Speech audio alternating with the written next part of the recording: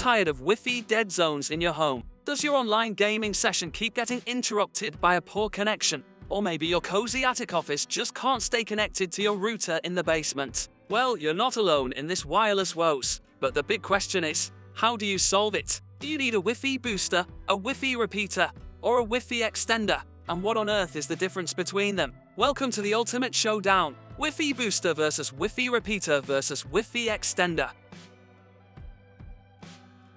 Understanding the basics. Let's start with the basics. In the digital age, our homes are filled with devices hungry for a strong Wi-Fi signal. The router alone, however, often can't satisfy this hunger. This is where Wi-Fi boosters, repeaters, and extenders come in, each serving a unique function in your quest for wireless coverage. Wi-Fi boosters are the catch-all term for devices that improve your signal strength. They're like the vitamins of Wi-Fi. They give your signal a little extra oomph. But within this category, we have two specific types of vitamins, repeaters and extenders. And while they might seem similar, they have different functions in the connectivity ecosystem. Wi-Fi repeater. What's in a name? Let's delve into Wi-Fi repeaters. Imagine a game of Chinese whispers where one person whispers a message to the next, and so on. A Wi-Fi repeater does something similar with your Wi-Fi signal. It takes the signal from your router and repeats it to extend its reach. But just like in the game, there can be a loss in translation, or in this case, signal strength. This is because Wi-Fi repeaters often operate on a single radio band, using half of the bandwidth to receive the signal and the other half to transmit it. Therefore, while they extend your Wi-Fi coverage, they can potentially reduce your connection speed, particularly if you're using bandwidth-heavy services like online gaming or streaming in high definition. When it comes to Wi-Fi booster versus Wi-Fi repeater, think of it this way.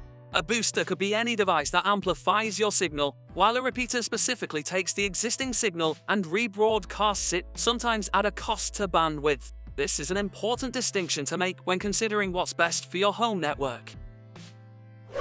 With the extender the signal stretcher.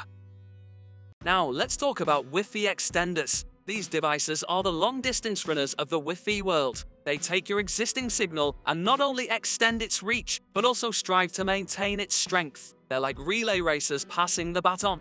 The signal is handed off from your router to the extender, which then pushes it further into your space. Some extenders can operate on dual bands, utilizing one band to communicate with the router and the other to communicate with your devices. This helps maintain a stronger connection and doesn't necessarily halve your bandwidth like a repeater might. When you're comparing Wi-Fi repeater versus Wi-Fi extender, it's all about the performance. Extenders are generally more advanced, with capabilities that can support higher speeds and more reliable connections, even over greater distances.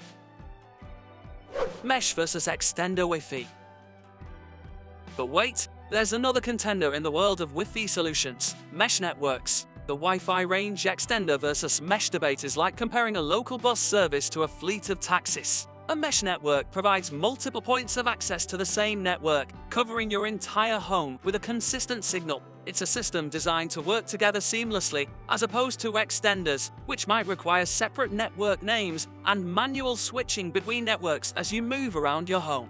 In the mesh versus extender Wi-Fi matchup, Mesh systems are typically more user-friendly and provide more uniform coverage. They're designed to work out of the box, with little fuss and a lot of smarts, automatically routing your connection for the best signal possible.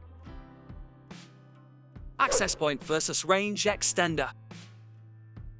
Now let's clear up some confusion with access points. An access point is a device that creates a wireless local area network or WLAN, usually in a large space like an office. Unlike extenders, which communicate with routers via wireless connections, access points are directly connected to the router via an Ethernet cable, which means they can offer more stable and robust connections. In the access point versus range extender face-off, consider access points if you're looking for a more permanent solution in a fixed location, while extenders offer more flexibility and ease of setup. The technical tussle wireless repeater versus extender now for the technical tussle.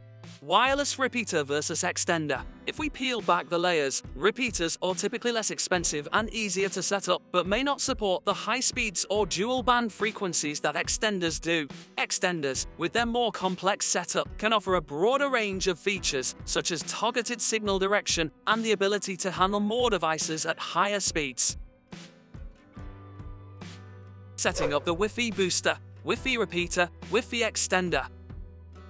Setting up a Wi-Fi repeater is a breeze. It's like finding the perfect spot in a crowded room to hear a conversation. Just plug in the repeater halfway between your router and the Wi-Fi dead zone and press the WPS button to connect it automatically to your network. A simple login with the provided credentials and voila, your signal reaches further. A Wi-Fi extender requires a tad more effort, but promises a stronger link. Think of it as building a bridge over a river to connect two lands. Place the extender within a good range of your router and connect to its network from a computer or smartphone. Access the setup page via a web browser. Follow the instructions to choose your existing network and extend it with ease. Wi-Fi boosters are the jack of all trades, the versatile heroes of Wi-Fi woes. Depending on whether they act more like a repeater or an extender, their setup will follow the respective steps. The key is to understand which type you have and then proceed as if setting up a repeater or an extender. Once set up, it's crucial to test your device's effectiveness. Walk around your space with a connected device to ensure the Wi-Fi signal is consistently strong.